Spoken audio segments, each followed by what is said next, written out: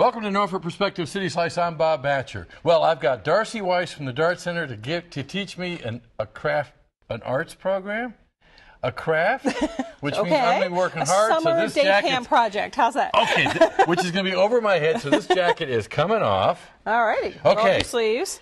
So we do a lot of different projects with our kids in the summer, and the cool thing about our camp is we work with professional artists. Our artists, as well as school system artists, come in for the summer and they work with the children that sign up for camp. Okay. They try to always do a different project every week, and so what we do is we assign different weeks to different famous artists. Well, I was going to say because I've been to the d'ART Center, Yeah. Mm-hmm. and in your gift shop, and then where they sell in the galleries, there are some really good Wow. Well, we artists, and they sell their own. stuff for thousands of dollars. Right. Well, the Dart So- Center itself has 35 artists. Yeah. That are resident artists that sell there all the time. Then we have five galleries that feature big shows. Like Yep. we'll talk about the Mid Atlantic is what we have now, and then we have our camp program and art classes for adults. And what we try to do is, if you come into the d'ART Center and you're like gravitate towards clay or painting, you can take a class in it or a workshop in it. The camps are set up so that kids don't really they're not specialized yet. So they come in and they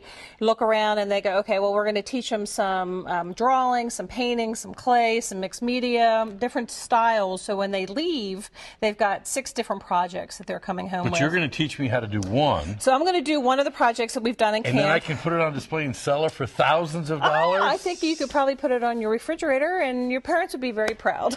oh, so we'll move you up to uh, selling your work at a can later I at least date. get a T-shirt for coming? You can get a T-shirt because this, is, the the camp T-shirt, right? T-shirt that we give. Um, I'm an artist to all our children that come and take camp. Uh, they use them as smocks, but it's also a fun T-shirt to have because you know they get to be an artist for a week. Can I tell you something? What's that? We were bike riding last weekend, and my wife had my daughter's T-shirt on from when she was a camp counselor. What?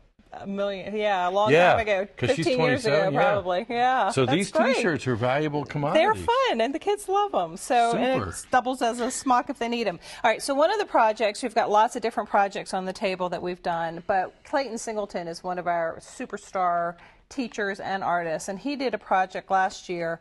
Um, this is what the finished product looked like, and it was a Warhol-esque project, and it was after that master. His stuff goes for Yeah, millions big of time. dollars. so this and this, uh, the artist was a very special person, I think. Yes, the, this is my daughter. So Okay. this was her project last year. So we started by taking photographs of the children, and then they we made transparencies, and then they, it was a multi-layered technique. We're going to do a little bit of it today because we don't have a lot of time. Okay. So we have taken. or or talent. There. uh, yes, so we have taken You a picture talent. of our camper. Oh, Bob okay. Batcher, our camper for today. And what we're going to do is we're going to paint on the reverse side of this. We are? We are, being you are. And then once you paint it in, here's some paints for you to use and brushes.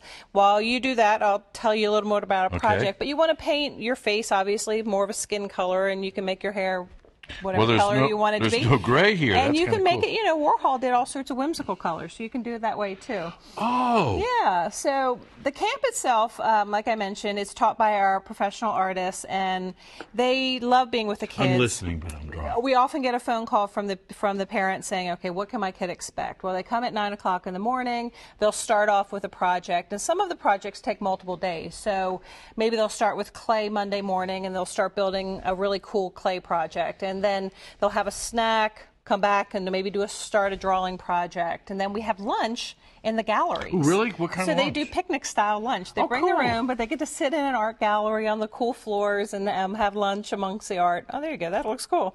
Um, and then throughout the week, then they'll revisit the project they started on Monday. So through the course of the week, they're doing six great projects. Now, is the idea that they through the week their their skill level will increase? Well, because they're exposed to They're exposed to a lot of different things. They also we also take them on a tour of the art center, so they get inspired by some of the artists that are around here. They certainly get inspired by each other because the way the ages are grouped, we've got six to ten year olds in our arts cool program and nine to fourteen year olds in our arts hot program. So the kids can um, learn from each other and you know that always helps a lot too. But at the end of the week, it's kind of fun. On Friday at one o'clock, we have an art show where the kids exhibit all these cool pieces that they've Oh, done. cool. Parents come, grandparents come. They all kind of walk around and get to see the artwork, um, and then they take it home at the end of the week with a graduation certificate saying, "I graduated the d'ART Center and I'm an artist."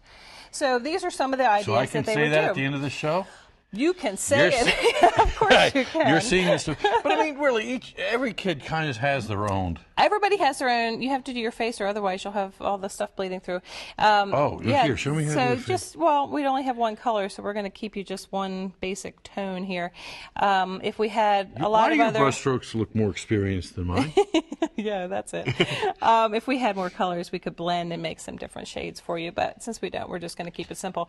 Um, but now I see. Okay, you've got these little guys here, so it's Right. not just all painting. No, it's painting and drawing, and the d'ART Center itself is comprised of all the different visual art mediums. And so, what we try to do is is expose the children to all the different visual art mediums. And so, they'll do paper mache, they'll do painting, they'll be drawing, they'll work with all our different artists. And so, they really get a true reflection of all our artists as well as the masters that um, we are focusing on that week. So, if they're doing No, Andy Warhol would give me blue eyes. he would right? give you blue eyes. If we're doing um, Warhol, this would be a, proj- a typical project that they might take home. Picasso, they may do a self-portrait, but use it in the the, the Picasso-esque style, so their nose is here and their ear is here. So, there, and- so there's also not only an expression, their expression, but some teaching as to. of course, we wanted to make it educational but fun. So there is the art history aspect to it, and they kind of, whether they fully understand what that master is, they certainly understand more than they did when they went in, and so that's Now I mentioned uh, my daughter being a counselor, but the camp's been going on for years. It has. Well, we've been open 26 years, and so camp is a big part of what we do. I'm going to give you some really fun Oh, glasses. some real glasses. See, Um, and yeah, so camp is a big part of what we do, and education is so critical to what we do. Now, this doesn't look at all like you now, so I really that's good. whimsified you. Um, we would take this, Okay, and we it's- can. It's, not really dry yet, but say you designed a background. Oh, cool. Okay, so it does look totally different on this side. Yeah, so if you had painted a background, I can't even see you on here. Well, if we, Yes, but we that's put, probably good we put mermaids on the background of this one for you, but let's flip it around on the white side so you can see it better. Um, and then you would have this project to take home once it dried, and you'd have your own little Warhol-esque. You know, I. Bob I-. But Darcy, you said about putting it on the refrigerator. um, I had a watercolor. I don't know, fruit and flowers. What are those called? They're not landscapes. They are still, Still life. Still life. Yeah. It never got unrolled. Oh, well, that's not a good My thing. My mom didn't have it.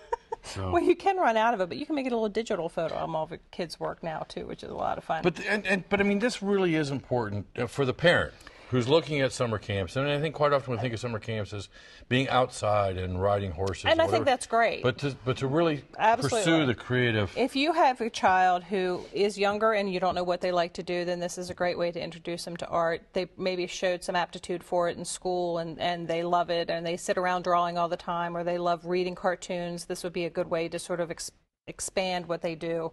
Um, it is an air conditioned camp, which is nice. So if you have that, Oh. if you have that outdoor camp in August and it's hot as you can it can be, then come to the Dart Mm-hmm. Center and cool off for a little while. It's from nine to two each day, which gives them a nice variety. So if you want to drop the, if you can drop them off downtown, right them off. downtown. Yeah, we're in Selden Arcade. Parents can work downtown and come by. They can even have lunch with them if they work in the area. So they can. It's just, it's just very convenient. It's nine to two each day. People can call us and online they can look up everything at our website d-artcenter.org. But they can also call us and we can enroll kids over the phone. So that makes it simple for them. Let's switch gears. Yeah. For that person who says, "But I don't have a kid, but I like art." We There's a lot going on at the Dart We Center, right? have yes. There's we have free admission always, and we always have changing exhibits. Wait a minute. Did you say, say that free again? admission, free admission. Um, so they can come into the d'ART Center and look at our different regional shows. Right now, it happens to be the 22nd annual Mid Atlantic, which is a super cool show. That's a show. judge show. It's too, juried, right? which Juried. means yeah, we put out a national call. People submit their artwork. Um, Sandra Arkins out of Washington, D.C. was the juror this year, and she picked all the work and then awarded the prizes, which we've done. But the artwork, some of the top winners are from this area, even though the artwork represents the whole country. So that's Wow. kind of cool. Uh, David Wilcox is a local Norfolk artist, Mm-hmm. and he happened to win one of our prizes this year for one of his um, photographs. So it's a, you can always come in and see something different and be inspired by the art. And if you're so inspired, you can sign up your kid for camp or take an art class. We have art classes for um, right. any you don't level. Have to just be a kid. No. Oh, no, gosh, And no. some of us, even though that we were a little older than a kid, we could use some.